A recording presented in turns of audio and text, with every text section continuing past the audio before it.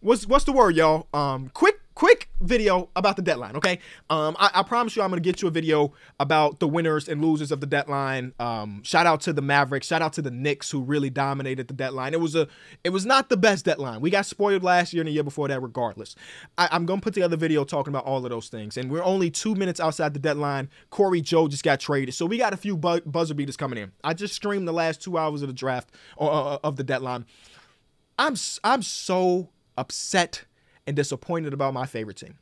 And, and, over the last couple years, I've been trying to balance the content, right? I've been trying to talk about the league at large and not let a bulk of my content be about my favorite team. I have to now.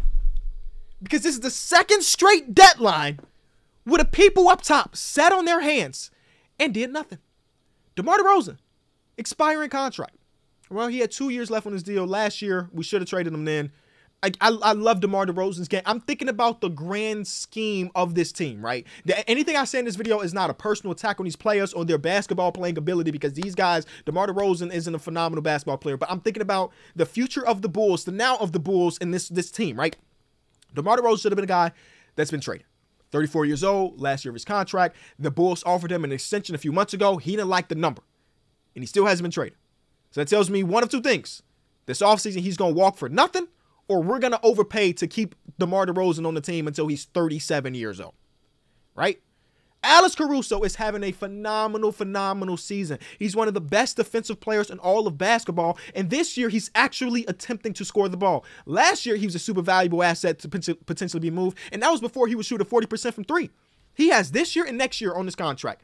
Personally, because I see that this team is destined for another 36 to 42 wins I am team, even though we love Alex Caruso, and trust me, I do, that we need to capitalize on the value because Alex Caruso being on this team in this moment in time is not winning us a playoff series. So let's trade him while he's at the peak of his powers, while his market is at an all-time high. Do you know how many contenders called about Alex Caruso to be shut down in the last two weeks? We keeping him. And the next year, I'm just gonna assume based on the track record, we're gonna keep him then and he's gonna go. He's gonna walk for nothing, or we're gonna overpay him. I'm just, I, I, when this front office, this new front office came in, Garpax was gone. Boom. I hated having Garpax as my general manager slash basketball operations guy. They did a bunch of stuff that I hated. I dropped a whole diss track on on this YouTube channel, I think, because I wanted them gone, and they left. And I'm like, yes, we finally gonna have a savior of Chicago. It's Marc Eversley. It's Arturas Karnisovas. They gonna come in. They gonna right the ship.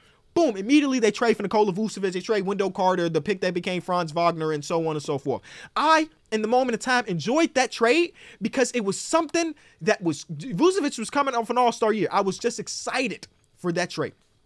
We go get DeMar DeRozan, love it. Lonzo Ball, love it. Since then, Nothing has happened. And the 2021 NBA season, the 2021 2022 NBA season, or maybe my years mixed up, the Bulls went into the All Star break with the number one seed in basketball. Alonzo Ball is there. The Bulls are hoping DeMar DeRozan's at an All Star, All NBA caliber level again. Everything is great. We have peak vibes.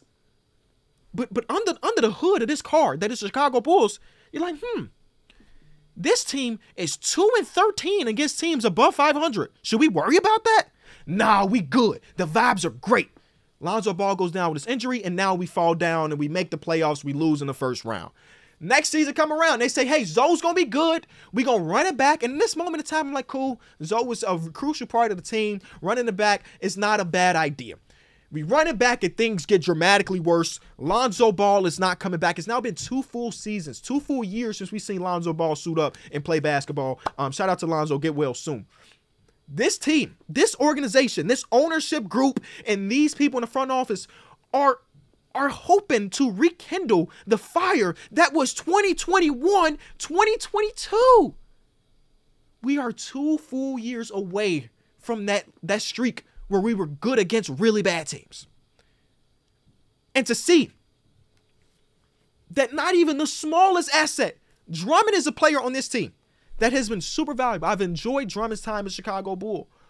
I'm pretty sure he's not going to be on the team next year.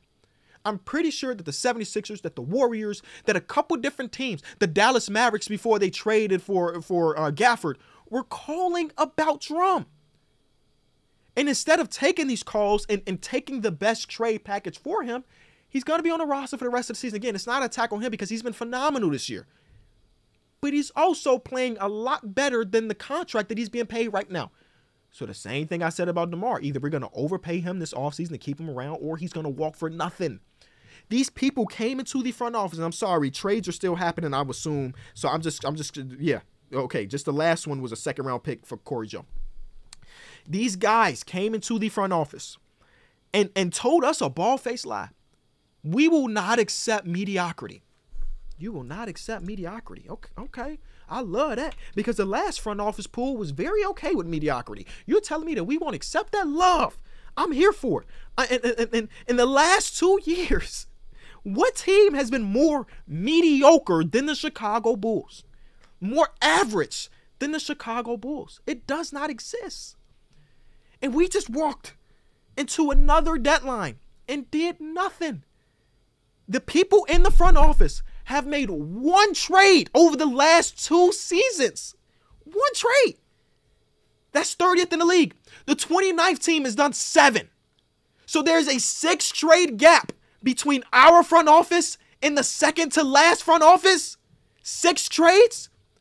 And, and Kenny, what is the trade they did? They traded two second round picks to get one second round pick. And shout out to Julian Phillips. I've been enjoying him play. But that is the deal that we've done.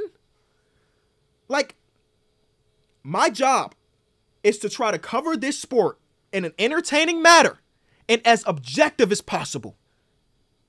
This team is making me not want to do that. The team that that got me into loving the game of basketball, that it has become my whole career, one of the biggest things about who I am as a person is the Chicago Bulls. And this team is making me not want to do that, bro. There, I went on this a small rant a couple hours ago during the deadline about this front office. And I feel like a broken record because this video I made four five years ago about the previous regime. The previous regime is better than these guys. Better. The one thing about the previous regime, even though they also were okay with mediocrity, at least they drafted well. At least they brought in Jimmy Butler with the 30th overall pick. At least they found Bobby Portis in, in the end of the first round. At least they found this guy, that guy. They did things well. This team, these guys have not drafted well. They have not put together really good trades. The two good things that this front office has done is get Alex Caruso away from the Lakers. Beautiful. Beautiful thing. Alex Caruso, again, is a stud, one of the best defensive players of basketball, one of the most valuable pieces that was potentially being moved and he wasn't moved. They get that. All of the credit. The second thing was bringing in Lonzo Ball, right? These dudes, they, they got caught cheating to do that. So you got two really good moves, two really good moves, and one of them the NBA told you you did illegally in four years. Coby White is in running for most improved player. He's been killing the game. That's not their pickup. They extended him. That's not their pickup. Think about that. And and and it, it all starts from up top. This ownership group does not care. They and, and people keep tweeting at me, Kenny, the Bulls are top three in attendance. Well, y'all need to boycott and maybe that'll do something. Bro, that doesn't matter. You want to know why? Because the year that the Bulls were 22 and 60, we were top three in attendance then. They're not keeping this mediocre team together to sell tickets because it doesn't it doesn't matter what product they put on the court. Us Bulls fans, we ride for our team. We're one of the biggest markets in the in the world. So whether the team is winning 7 games or 70 games, the United Center is going to be packed. I was a season ticket holder the year they won 22 out of 82 games.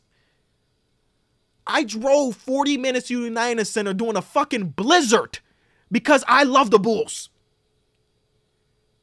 So the people that saying, oh, they're being mediocre to sell tickets, they're gonna sell tickets regardless.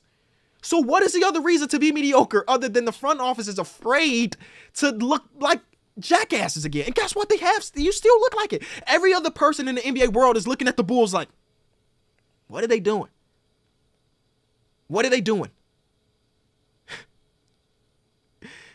This I don't understand it. The first game of the NBA season happened. And the team had a players only meeting. That was the moment in time where you should have been like, all right, these next three months, we're going to evaluate our talent and figure out who we want to build with. That was what I convinced myself you were doing. No. No. They want they want to be Danny Ainge without putting in the work to be Danny Ainge. You have to accept the fact that the some of the trades you're gonna do, you're gonna walk out as losers in the moment. They want to trade all of their assets for seven first round picks plus three competent players. That's not the reality of the league, bro. It's just not. These two dudes. Tim Connolly drafted Nikola Jokic and Arturas Karnisovas was there. And now he runs my favorite team. I, I'm I'm I'm about to go upstairs, shower. I'm taking a trip to Milwaukee. I'm going to watch Bucks versus Timberwolves today, and I'm not even gonna think about the Bulls for the rest of the night. But I had to get out this video, and there's a lot that I ain't even said, but I had to get out this video. Back to the normal schedule stuff starting tomorrow, where we talk about the Knicks, we talk about the Mavericks, and we talk about some of the real people that made real moves. I appreciate you for watching.